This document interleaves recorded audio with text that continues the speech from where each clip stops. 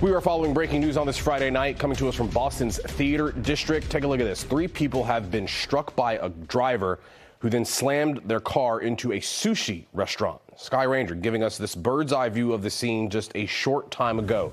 Thank you so much for joining us on this Friday. I'm Corey Smith. NBC 10's Michael Rosenfield just arrived at the scene. He joins us live with a closer look at the trouble. Michael?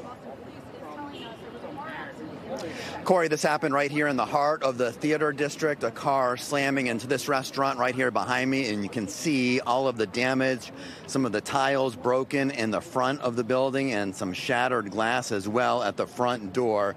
Let's take a look, though, at the scene from above Sky Ranger over Tremont and Stuart Streets a short time ago. It's unclear what caused the driver to lose control and smash into the front of the Genki Ya sushi restaurant.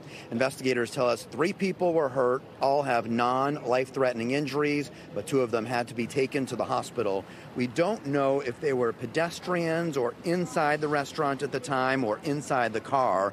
Witnesses tell us it appears that two cars may have collided in the intersection, sending the SUV into the front facade of the restaurant. They saw one of the victims of the crash bleeding quite heavily on the sidewalk, and Good Samaritans did rush over to help. Here's a witness who saw the immediate aftermath of the accident. Uh, just pandemonium. A lot of people all around it. Um, you know, look, look, I didn't see anybody injured or anybody crying out or anything. It was just a lot of people trying to help.